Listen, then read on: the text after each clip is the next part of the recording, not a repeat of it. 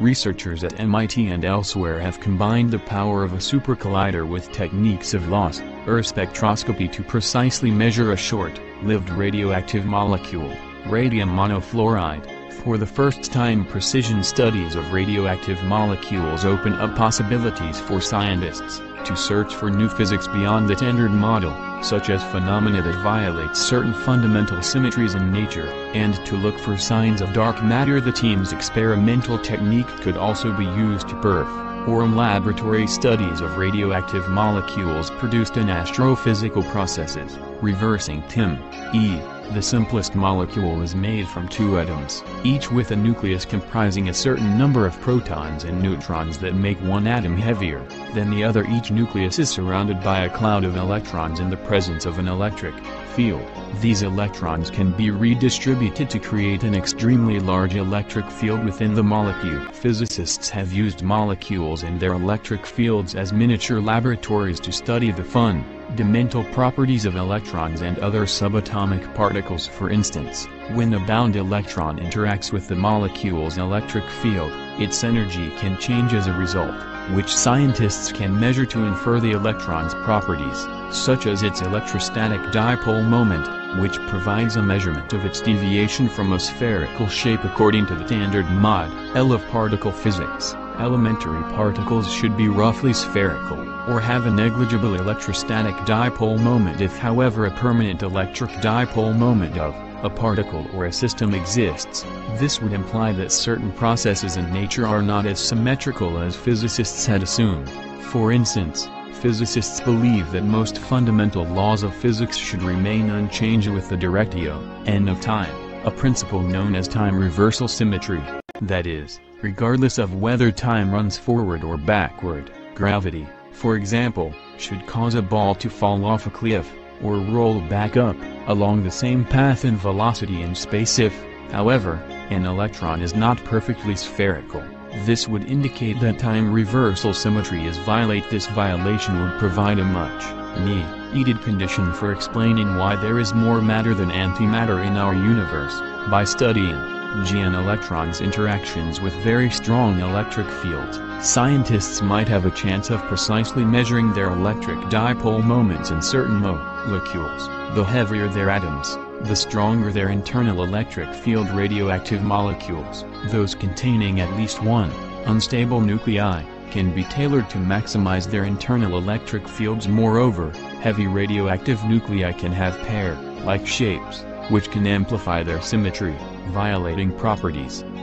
Because of their high electric fields and unique nuclear shapes, radioactive molecules would make natural laboratories in which to probe not only the electron's structure, but also symmetry, violating nuclear properties but these molecules are short-lived, and scientists have been unable to pin them down. These radioactive molecules are very rare in nature and some of them cannot be found in our planet but can be abundant in astrophysical processes such as stellar explosions, or neutron star mergers, oh we have to make them artificially, and the main challenges have been that they can only be produced in small quantities at high temperatures, and can be very short, live and needle in the dark. The team looked for a way to make radium monofluoride, a radioactive molecule that contains a very heavy, unstable radium atom and a fluoride atom this molecule is of particular interest because certain isotopes of the radium m nucleus are themselves asymmetrical,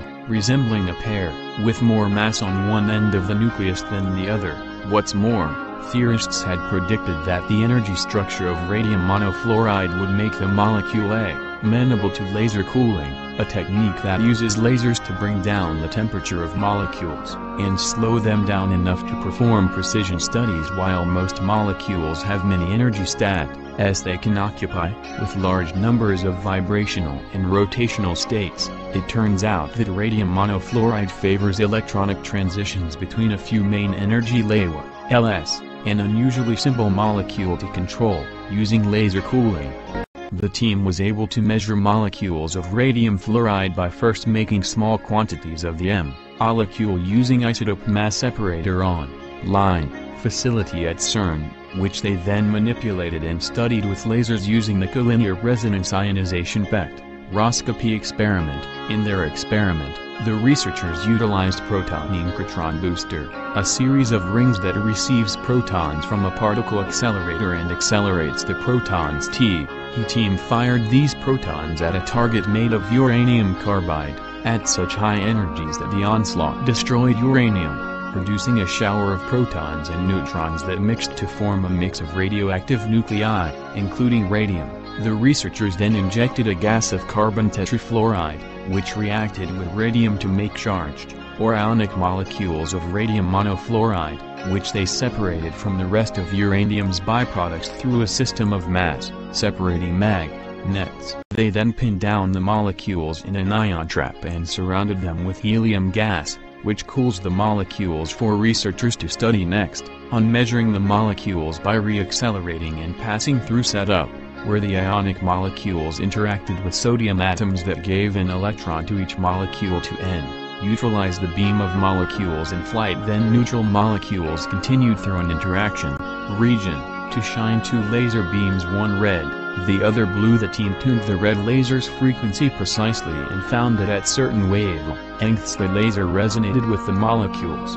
exciting an electron in the molecule to another energy level such that the blue laser then had enough energy to remove the electron from the molecule. The resonantly excited molecules, made ionic again, were deflected and collected onto a particle detector, allowing the researchers to measure, for the first time, their energy levels, and the associated molecular properties.